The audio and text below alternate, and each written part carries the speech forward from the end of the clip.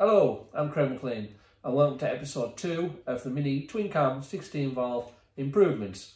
In this episode we're mainly going to focus on the turbo oil drain improvements. So I'll let you see how it was before, the mess it was, how I was so very unhappy with it and then we'll uh, move on to some other things that need improved in the next episode. So let's crack on with them turbo oil drain improvements. Right guys, that's the engine out. I still think it looks absolutely bloody fantastic. Considering in February 2023, it'll have been in the car seven years. Fair enough, in that time, it probably hasn't done all that many miles, maybe three or 4,000. Um, it hasn't done anything for the last 18 months at least, maybe two years actually. With COVID kicked in, all the shows got knocked on the head. I got busy with the escort and this kind of got neglected, which is the reason why I'm getting back onto it now. But yeah, I still really do think that looks absolutely amazing. Does need a bit of a clean up, which I'm going to do while it's out. But obviously that's not the real reason I've took it out. I'll spin it round now and I'll explain exactly the reasons why I'm pulling it out because it's just a big area I'm so very unhappy with. Just a bit of a view from the back of the engine. This is the manifold that was built by Fusion Fabrications. Absolute beautiful bit of work that is. I did have a go making my own manifold and it was an absolute fail. I was completely unhappy with it. And then I found out about uh, Fusion Fabrications producing these. They didn't even need any, any details from me other than what turbo was fitting, which is the GT17 from the Saab, which was at the time highly recommended on all the uh, the mini forums for the twin cam or for the mini application because they're a much smaller uh, less laggy turbo than the old big the old and bigger T3 um, I don't know a hell of a lot about turbos etc but uh, I know enough obviously to put them together. That's all I can say. Um, so yeah manifold was built by Fusion Fabrications. Saab GT17 Garrett turbo. That was a brand new turbo because the original one I bought which was, um, I think it was a copy of the Garrett, and it basically poured oil down the exhaust and basically blew smoke out the back end, big style. So I ended up buying a proper uh, Garrett brand new turbo, and this has been, touch wood, fantastic. So let me get down underneath and show you the big issue as to why I've pulled this engine out. So what we're looking at here is the place where the original Mini fuel pump would have mounted on the back of the block. And this collector here, which takes all the oil drains from the K head, because as I mentioned earlier, the K head returns its oil externally. This little collector was designed to be mounted here, where the original fuel pump was. But due to the turbo hanging down, it meant that all these pipe outlets would foul the bottom of the turbo. You wouldn't be able to get the pipes on. So that was the reason why I had to make this simple elbow with two flanges on to mount it over here out the way. I do need to reroute this pipe, I'm not happy with that either. That will be sorted before it goes back in. The issue there is the turbo also requires an oil drain. And at the time I did this abortion, I'll be honest, I'm completely unhappy with it. This little section welded off the side of that elbow and a very short pipe which is all puckered up as you can see. I've been keeping an eye on this for a while because I've been expecting this failing. Uh, I've never ever been happy with it. That that piece of hose there is probably only maybe an inch, inch and a half long. It's horrendous. I'm completely unhappy with that. So this is going to be getting removed. This section here is going to be getting removed. That's going to be getting put back to a nice elbow as it should be. That will be remaining where it is, out over there, out the way, because the elbow was nicely made. I think I, I think I silver got all these silver soldered, so it was all beautifully put together. Uh, that was that was spot on. Not, I've got no issue with that. But this here is an abortion. Now, my lack of knowledge with turbos has led to this being the way it is. Because I knew that the compressor housing here could be spun round.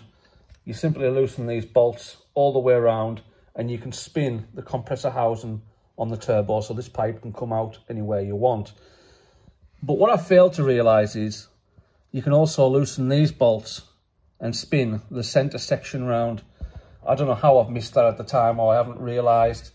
And there's the oil feed coming in at the top and the drain at the bottom, but it's not perfectly straight. So basically that should be perfectly straight. The oil should be right in at the top, drain out the bottom.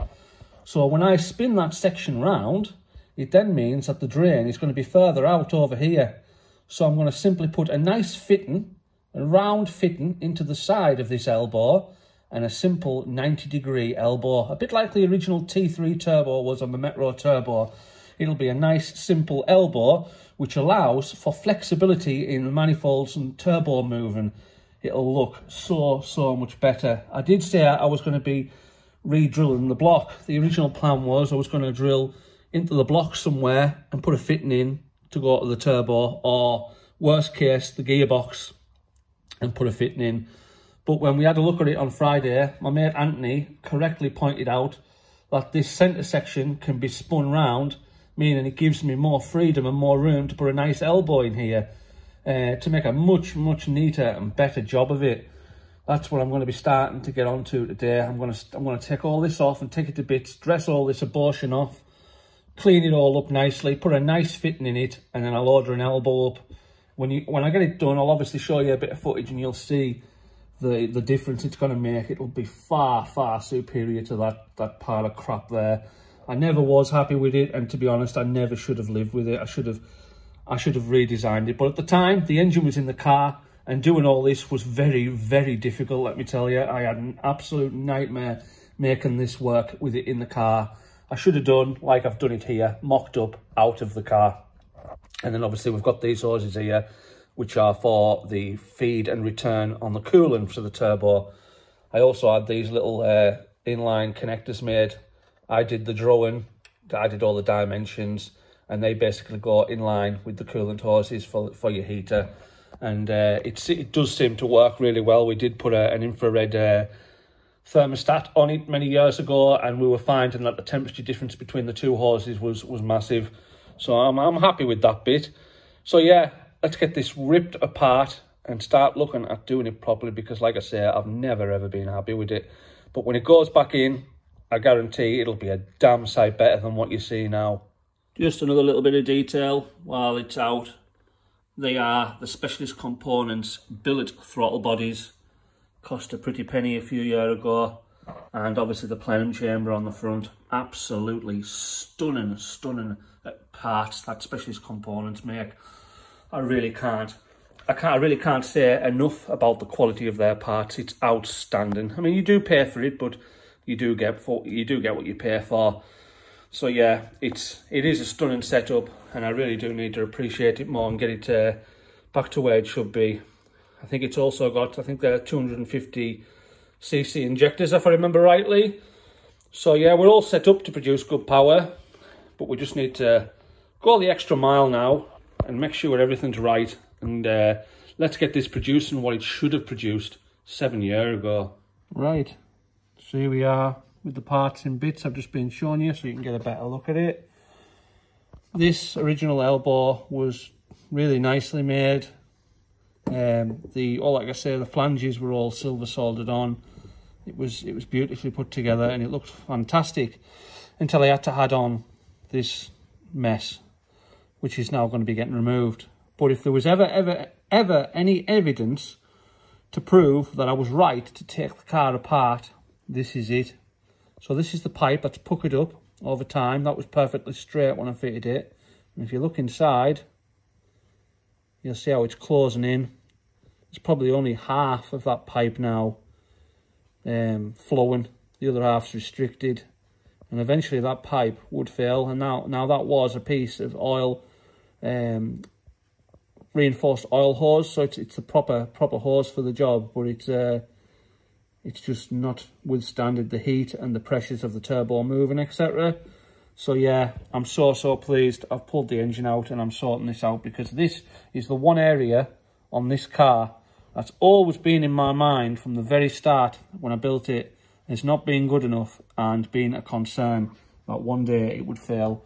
So now it's coming to bits and it's getting done properly the way I should have done it the first time. Right, just a little bit of an update today. The centre section of the turbo has now been rotated clockwise to now bring the oil feed and return at the bottom in a perfect vertical line. So now the oil comes in the top and drains straight through. And because we've moved it back, because we've moved it clockwise, it's now brought the return further towards the camera, meaning I've got room to get an elbow in. So the original elbow, as you can see, I've dressed back that horrible um, contraption you've seen earlier. I've welded the hole up and now it's just waiting a fitting to go into the side of that elbow. I'm going to get a hose barb fitting. I think it's about 16, 17 mil. Uh, that's just a bit of rubber hose, just to mock up, just to give you an idea. I'm going to be getting a silicon 90 and it'll be cut to the exact right length so it doesn't hang down at the bottom. And that's how it'll be. So the, you know, the, the return, the oil return from the turbo is going to be so, so much neater than it was with that horrible contraption I'm so pleased to see the back of. But obviously I'll keep you updated and I'll show you some uh, some updates to this as soon as I get uh, the parts through. Uh, there's another couple of things to do. I think it's this side bush on the drive shaft needs the bronze bush replaced as well. There's a little bit of play in the pot joint, so I'll do that while it's out. I may as well put a new rubber seal in the end while it's out. Um, the bracket for the actuator is going to be getting redesigned and actually welded onto the housing of the turbo. Again, I'll keep you updated with that before the uh, before the end of this project. I think I'm going to call it Project Pottery because all I seem to do is potter away a few hours here and there. but it'll get there slowly. At the end of the day, there's no rush. It's uh, it's only the start of winter and I've got months to get all this done. So I'm just going to take my time and uh, do it when I can be bothered, really. Right, just a couple of parts come to allow me to progress with the build, or with the improvements rather. First one being this. This is the elbow, which is going to replace that awful setup you seen earlier. Now, it's very important that you don't restrict your return on your turbo. Hence the reason why I've went for such a big uh, pipe insert, which will be getting welded into that elbow. I'll show you soon. That's obviously stretched the uh, silicon hose a, a little bit, obviously, to make sure that the internal hose size is at least bigger than the uh, than the size of the hole within the turbo housing so that the oil flow has a perfect and clear path back to the sump. We've got the gasket for the side cover, the seal and the bush because obviously once I take it off I'm going to have to knock that seal out so I'll put a new one in. New gasket to put it back together with. New bronze bush which apparently does need reamed. The last one I did didn't need reamed. I'm hoping I'm going to get away with it but if not I'll figure that out when I get to that point. But yeah, that's a couple of jobs I'm going to get on with today. And then, uh, yeah, that's a big step forward, I think. And there we go. That's that fitting. Fully MIG welded in. It's times like these where I wish I had perfected my TIG welding skills because this would have been beautifully TIG welded. But as of now, I wouldn't do that with the TIG as I wouldn't it wouldn't look as like it does now anyways. It would look a damn sight worse than than, than it does MIG'd, but it would be neater if it was TIGGed. So yeah, that's that's that fully uh, fully dressed in from the inside as well. I've made sure it flows nicely, follows the angle of the pipe, so there's no restrictions. So yeah, get that powder coated now fitted properly, and that will make such a better job than it was before.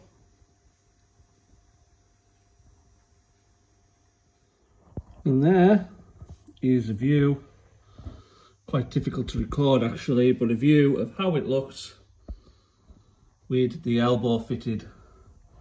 A million times better. I'll try and get a better shot for you.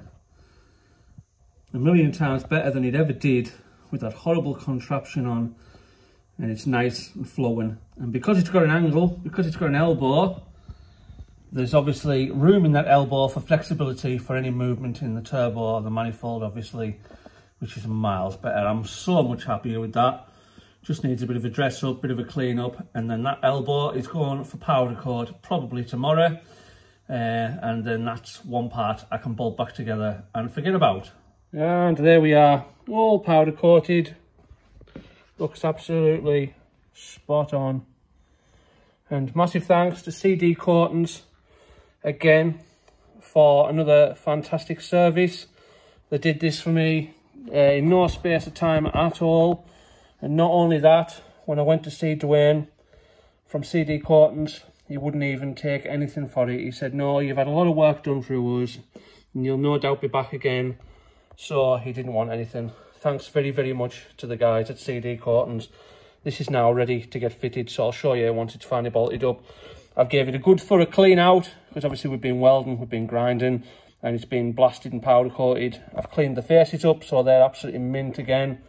But now that's uh, ready to bolt back on, and that's going to look so, so much better than it ever did. And just a shot with the little collector bolted on to show you exactly how that fits.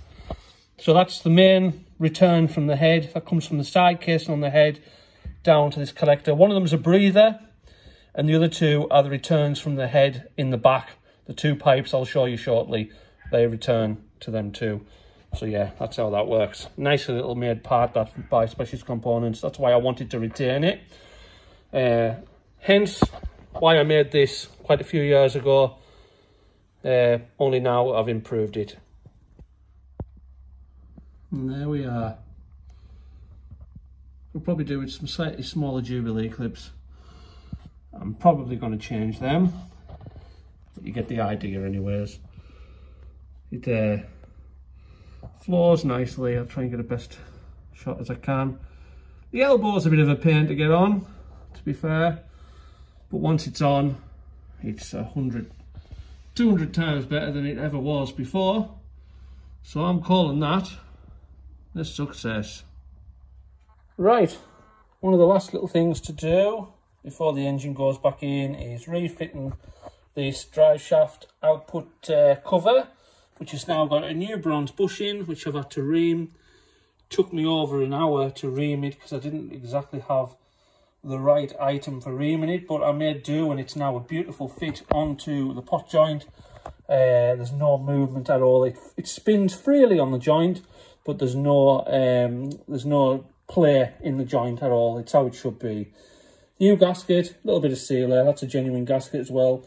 So I'll get that uh, bolted on, and then at least we'll have two pot joints that have got no play because what we ended up with was the passenger side one was free of any play, and the driver's side one I could wobble the pot joint. I've been able to wobble it for a while. So while it's out, why not sort this little issue out, which is exactly what I've done here. So I'll get this bolted back on right now. Right, that's the drive uh, shaft output done, refitted. So that's that taken care of. The turbo oil drain has been taken care of, as you've just seen. So what's left to do before it can go back in? We've still got a couple of items to take care of. One of them being the way the actuator mounts onto the turbo, because as you can see, the bracket's around there and the arms are here. And I had a bracket that came round and forward, which was never really good enough. Denzel agrees now, he's giving it the sniff of uh, disapproval. Um, I'm going to replace the hoses that go from the head down to the collector with new hoses. Uh, and I'm also going to, as well, while it's out, it makes complete sense to do the cam belt because cars have anywhere between 5 and 10 years cam belt intervals, depending on what car model you look at. This one's been on around about 7. So while the engine's out, why not put a new cam belt on? It just makes sense. It's easy to do while it's out. So I'm going to do that and then I'm going to re uh, re-time it. The timing issue, I think I've mentioned earlier in the video, has been an issue from the start. It's never been quite right. We're going to rectify that. I'll go into that later in either this video or the next one. But yeah, that's just a couple of things that I need to do. Along with a full clean down, the full engine needs a thorough clean, as you can see. Look at the state of that fan. Under the bonnet needs a thorough clean and then we can hopefully get this lifted in very shortly. So yeah, we're getting there. Underneath, we've got some new Jubilee clips fitted to the hose, to the uh, to the elbow. They're the correct size now, just looks so much better. So yeah, we're slowly getting there. We're slowly ticking items off our list. Well guys, I'm going to leave that episode here. I'm sure you'll agree that that's a massive improvement on how it was before. I've done a bit of research around the silicon hose on the 90 to make sure that they are, um, you know, capable of withstanding oil. And it would seem that they definitely are. And to be honest, the original Metro Turbo had a silicon 90, so yeah, I'm, I'm, I'm fairly confident that that should be fine. So yeah, if you want to see some more improvements, the next one we're probably going to mainly focus on the turbo actuator bracketry and how we're going to improve that. But we'll uh, we'll pick up with that video very very shortly. It won't be far away because I've pretty much got all the footage together already. So thanks very much for watching again, guys, and I'll see you very shortly.